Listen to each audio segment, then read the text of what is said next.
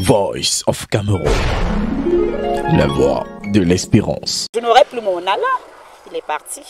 Complainte d'une maman qui a perdu son fils.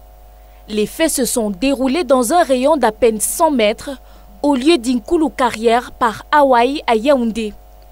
Un triangle mortel avec ici la demeure du défunt Alain Wang.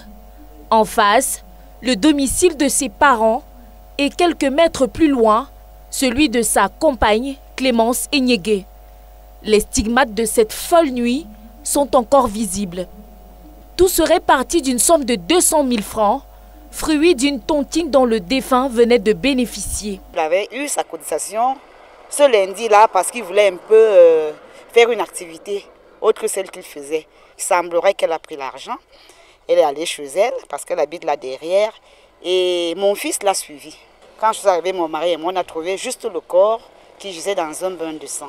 Selon les témoignages recueillis sur place, c'est au cours d'un échange houleux que le pire s'est produit.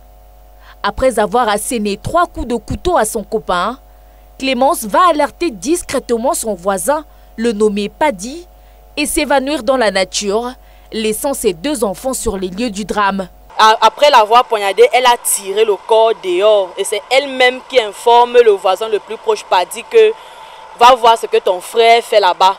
Pas grand-chose ne filtre sur la présumée coupable, mais son attitude peu recommandable aurait maintes fois occasionné des murmures dans cette cour commune. Ses habillements assez obscènes. C'est vrai que les filles s'habillent généralement mal, mais il y a une certaine, façon poussée de le faire quand même. Des indiscrétions lui prêtent même un sombre palmarès.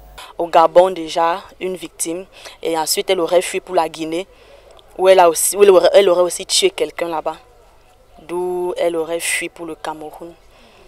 Alain Wong s'en est allé pour l'éternité.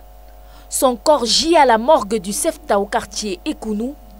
Clémence Senyege, quant à elle, s'est rendue hier elle fait l'objet d'exploitation dans les locaux de la police judiciaire.